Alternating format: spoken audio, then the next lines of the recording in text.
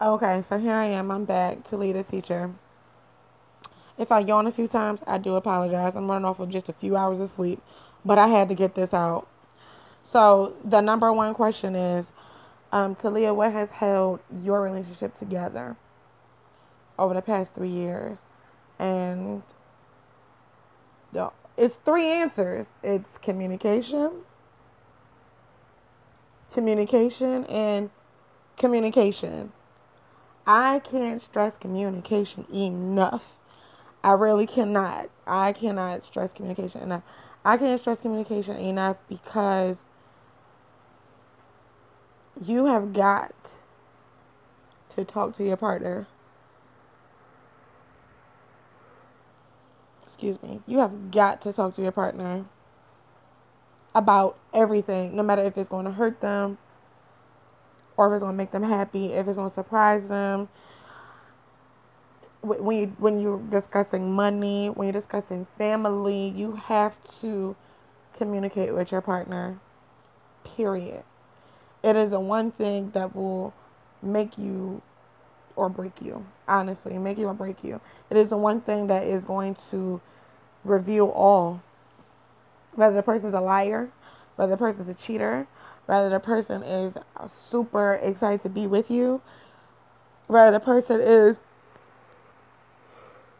excuse me, whether the person is worried about something, whether the person is hey tired like me, whether the person is on the same mental capacity as you. It is so important to talk to your partner. My fiance and I really had to work on that. And what we have found out is that neither one of us knew how to communicate effectively.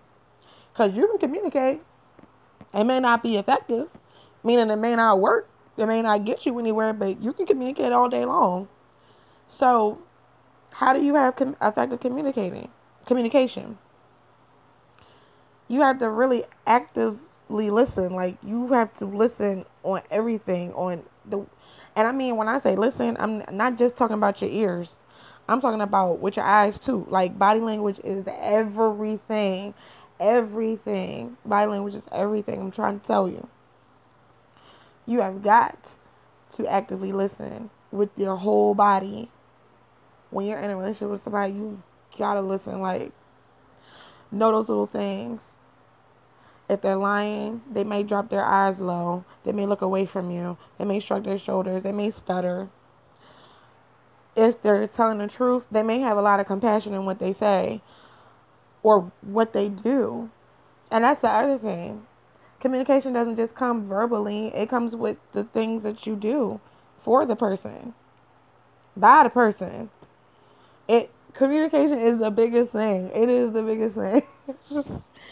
I'm trying to, I can't even stress it. I, I can't stress it anything more.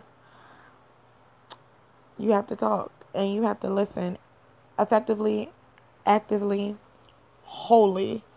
You have to communicate. So there we go.